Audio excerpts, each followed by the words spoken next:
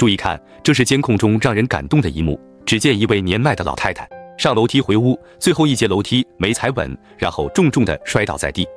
好在老太太往后摔的时候用竹把支撑了一下，再加上天气较冷，穿的也比较厚实，最终造成的伤害不大，可以独立坐起来。但是靠自己的力量无法站起来。此时无奈的老太太只能静静地坐在家门口，等待家人下班将自己扶进屋内。没过一会，一个骑摩托车的男子经过，疑惑地看着坐在家门口的老太太，给自己打招呼，瞬间就明白这位老太太需要帮助。于是赶紧停好摩托车，快步跑向老太太，来不及多说，直接将老太太搀扶起来。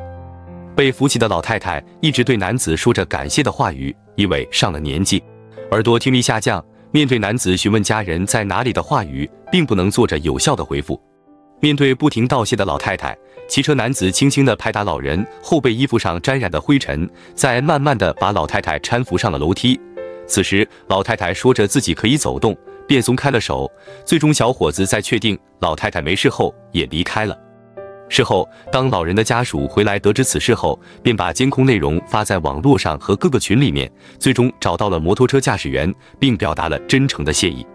在这里，我们一起给好心男子点个大大的赞，并在评论区打出“好人一生平安”。对于骑车男子这种见义勇为的行为，非常值得我们广为传播，也祝愿天下所有父母健康。平安、幸福。